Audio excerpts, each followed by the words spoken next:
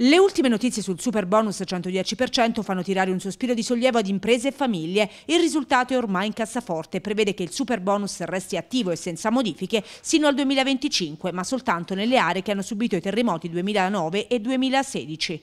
Questo è essenziale per uno sviluppo del nostro territorio, completare quello che è un iter che abbiamo iniziato, intrapreso e non dobbiamo lasciare delle macchie nel territorio non ricostruite, non efficientate ma soprattutto non messe in sicurezza sismica.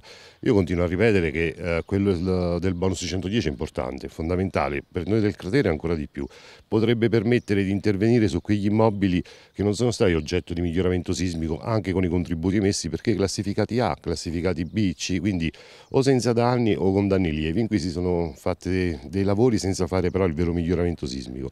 Con il super bonus potremmo finalmente mettere in sicurezza tutto il, nostro, tutto il nostro territorio che come abbiamo visto anche ieri purtroppo continua a subire del territorio nazionale e continua a subire degli scotimenti sismici come purtroppo è successo a Perugia, per fortuna senza danni, però ci sono ancora eventi in continuazione. Per quel che riguarda i lavori all'Aquila, si fa il punto con il presidente dell'Ordine degli Ingegneri. Sono molti i lavori di Superbonus 110% autonomo che non si sovrappone ai lavori della ricostruzione.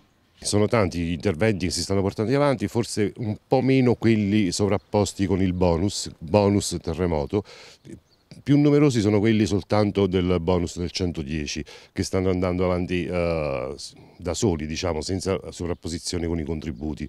Anche questi hanno subito un po' di rallentamenti, un po' di stop anche in fase di progettazione ma anche in fase di esecuzione.